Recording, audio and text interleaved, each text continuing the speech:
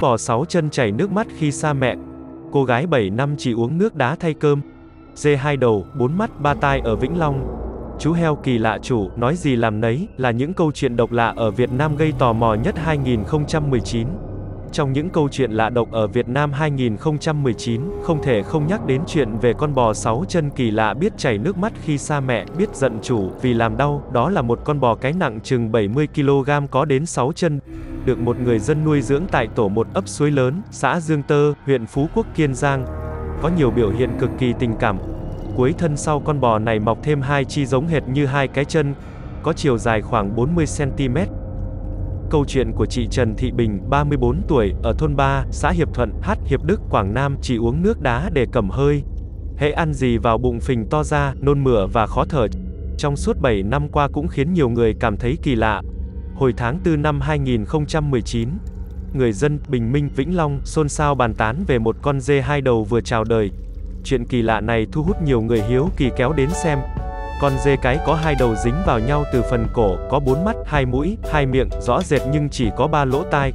Con dê này có bốn chân bình thường, nặng 1,9 kg. Con heo tên Lích của ông Hoàng Trường, 61 tuổi, ở thôn Thượng, xã Võ Ninh, huyện Quảng Ninh, Quảng Bình.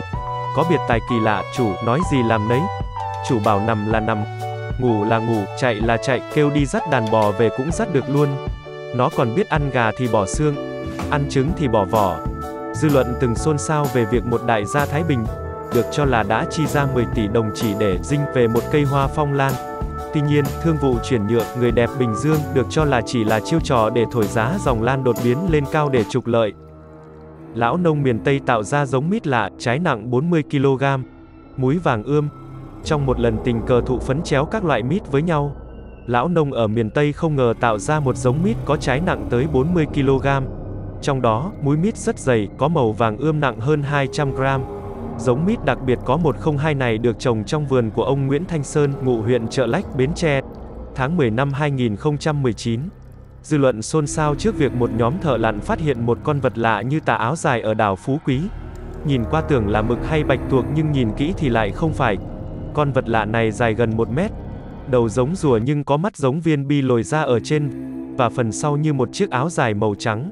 Hai cánh, con vật này cứ nổi lềnh bềnh trên mặt nước, khiến nhóm thợ lặn khiếp sợ. Có ý kiến cho rằng đó là con bạch tuộc chăn. Tháng 10 năm 2019, con lợn nái 3 năm tuổi của gia đình anh Phạm Trọng Kiên, chú ở xóm 8, xã Tường Sơn, sinh được 18 con. Trong đó, có 3 con mang hình dáng giống con voi. Nghe tin đàn lợn mới đẻ của anh Kiên có 3 con voi. Nhiều người dân địa phương tò mò kéo đến xem rất đông. Một số ngư dân ở đất mũi vớt được con vật bằng kim loại, nghi là đồng. Người dân ở đây tạm gọi nó là kỳ lân. Tượng con vật kỳ quái có hai đầu, nặng tầm 45 kg bằng kim loại màu vàng đồng.